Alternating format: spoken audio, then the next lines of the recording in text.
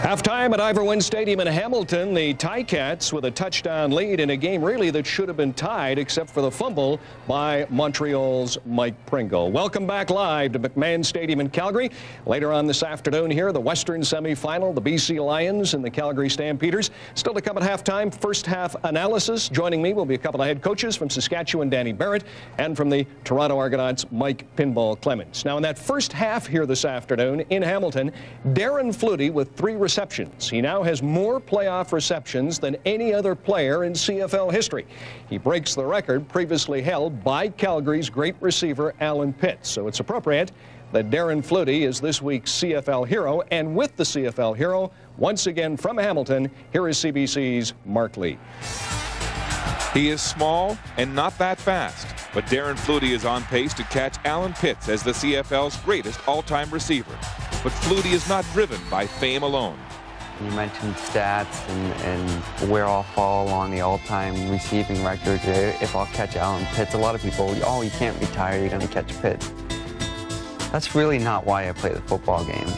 You know, I love football. I love to play, and I love our team winning. Flutie's tremendous career had an inconspicuous start. In 1991, he got a tryout only at the request of his famous big brother. Doug's influence on my career in, in the Canadian Football League is huge.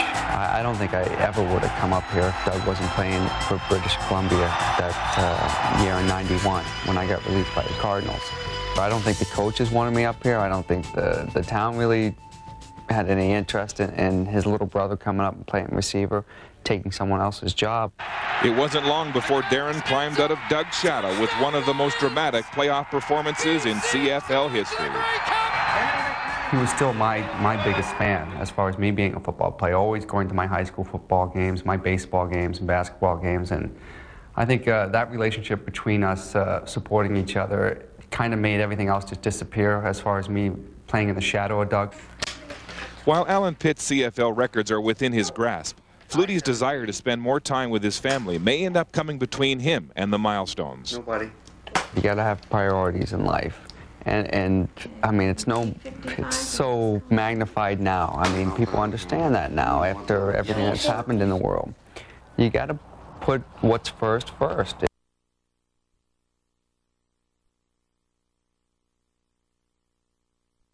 Uh, it used to be before the kids started school that uh, we'd come up during the season, we'd, we'd rent a house in whatever city I played in, and we'd be together all the time.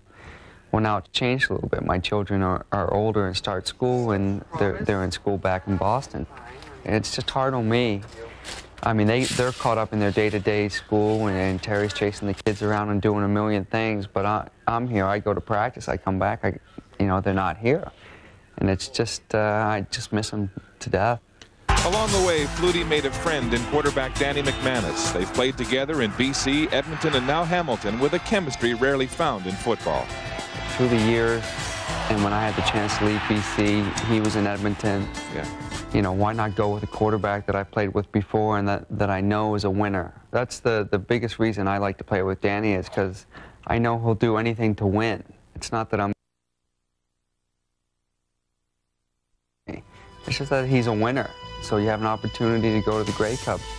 You know, we've had some, some really good moments, and, uh, you know, I'll remember those forever. Heroes of the CFL, brought to you by Standard Life.